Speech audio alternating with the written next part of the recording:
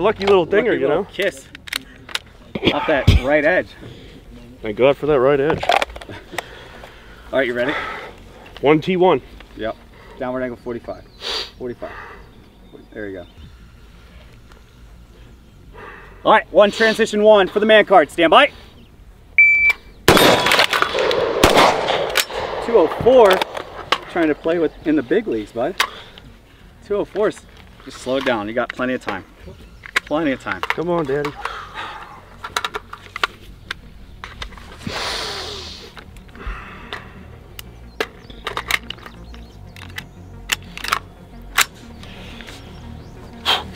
Downward angle 45. 45. All right. Second attempt for the man card. Stand by. Two, three, nine. Whoa! Yeah, baby! 21. Yeah!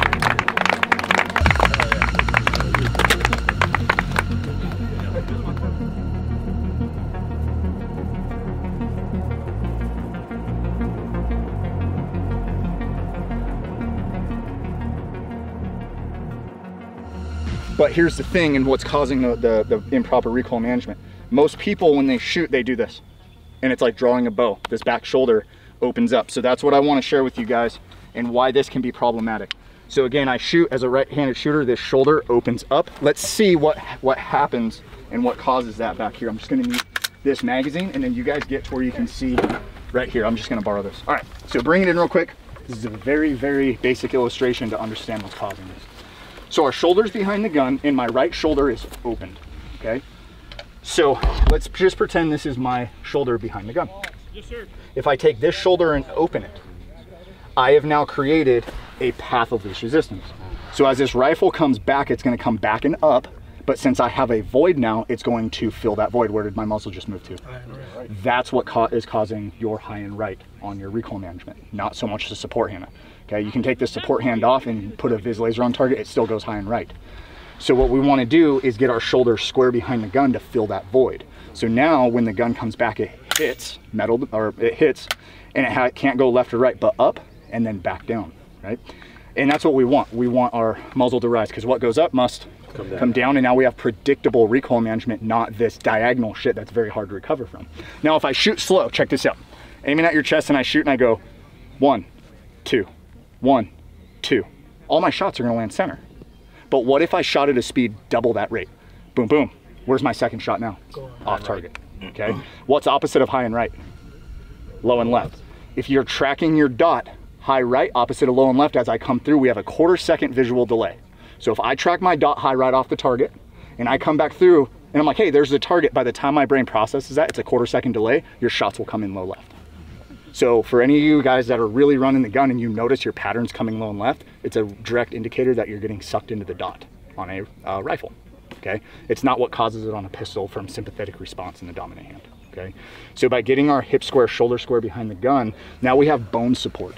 Now, a lot of people go, but Mark, my shoulder, I'm super buff here, right? So when I get my buttstock in, I have buttstock contact. What's harder, bone or muscle? Bone. Bone. So what happens is the buttstock's here, and I have full contact, but it's meat. It's it's not bone. So when I shoot, the the the path least resistance, it's just pushing into the muscle and it's still giving. So we need to take that shoulder. If I were to walk by and shoulder check somebody, I'm literally shoulder checking the buttstock. And then if you ever anyone ever bumped their ear pro on rifle, okay, shoulder shrugs. We shoulder shrug up and forward and drive that buttstock in. And now you don't need a super tall mount to get a comfortable head position. You never bump your ear. Get a super tall mount, they're super nice, okay? But what that does is now we have bone support behind the buttstock.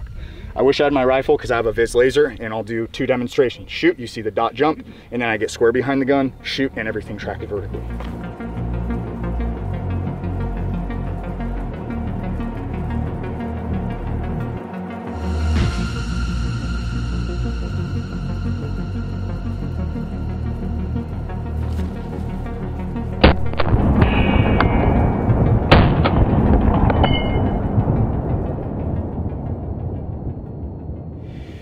Think about that. Either level change, and if you have the option to present to the other side, then do that. In this case, we do. So use the environment that you have to your advantage. Um, you know, any of these little trips, tips and tricks for you know being deceptive or changing what you are doing to then throw them off is going to gain you just a little bit of time. Sometimes that's that's what you need. All right. Uh, so and let's talk about that, right? So on the sides that we're presenting out on, because I saw this a few times too, when you take those angles, can you give me some some backlight there, real quick? Whatever's- Directly behind you. whatever whatever side you're coming out to, all right, think about that foot, that lead foot of the side you're presenting to, that's gonna be the leg that you lead with, all right? So I'm moving right side, I'll switch my feet up, even if it's not my normal shooting stance, doesn't really matter. And I'm gonna take that, that leg and not so much lean out to the right as a lunge forward slightly because even if I'm lunging forward towards that barrel, that's gonna clear my muzzle and I'll give myself some backsplash just so you can see the difference of like where uh, the shadow is gonna lie. But if I'm here, I get a little bit, all I'm doing is lunging forward and now I just cleared the majority of that and I can see the target very, you know, with minimum exposure on my own side. And even if you're not gonna switch shoulders or anything, it's the same idea on this side. I'm just gonna do that forward lean and now I can use that index point of my light on the barrel so I know I'm past that hard cover and I'll get out without being off balance as well because having that leg, that base underneath you is gonna allow you to be stable as opposed to like, Derek, come over here real quick. This is my normal shooting stance and I go to lean out, just give me a little push. Yeah, like I'm not stable at all. But now if I have this leg as my stability underneath me to balance on, all right, Hey, what's up going on? Hey, you need some help? Uh, that shit's cool, but I have my feet underneath me. All right. Same thing with taking a knee. Um, that lead leg, that's going to be the foot that's planted. All right, and all I'm doing again is just leaning forward, not out. if you Just lean split forward, lean is all you need.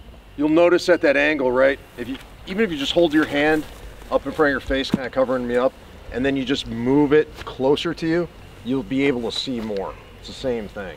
So instead of we're leaning into the cover and that's opening up our angle, instead of just leaning out.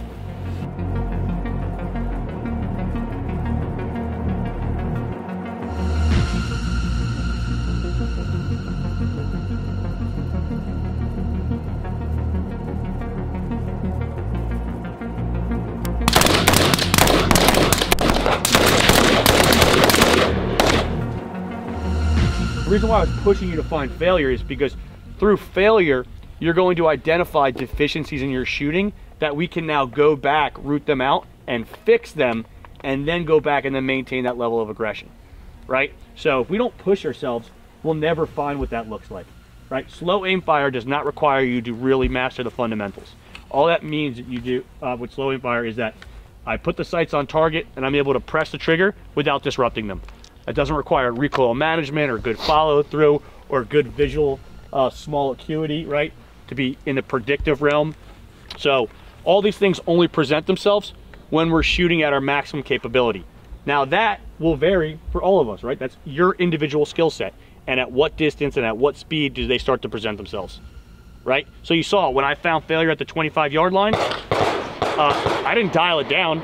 I said, no, I know exactly what I fucking did. And I shot it just as aggressive and I was accountable, right? Because I'm able to identify the mistakes that I made and I know that's within my uh, wheelhouse to uh, maintain accountability to that. So I just shot it again.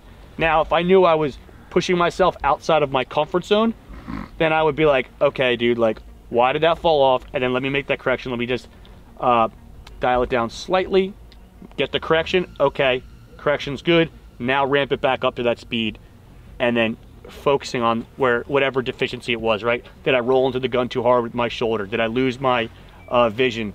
Uh, did I lose that refined sight picture? Uh, you know, like whatever whatever it was for you, right?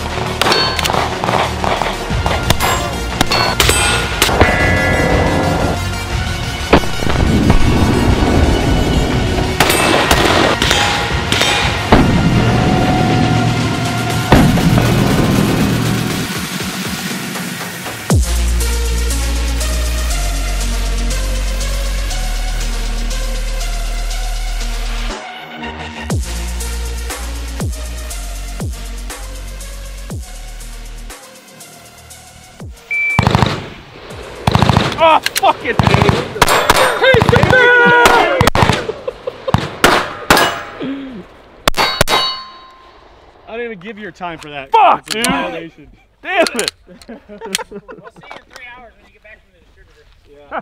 Getting drunk tonight. Fuck. Oh yeah, we're good. All right, here we go. So much Fun. Stand by. false confidence. Oh, motherfuck! Oh my god, dude. Are you serious? 725. Dude, those rifle. God damn it! The click that echoed. Where's Rick? Hey, you kegs on me!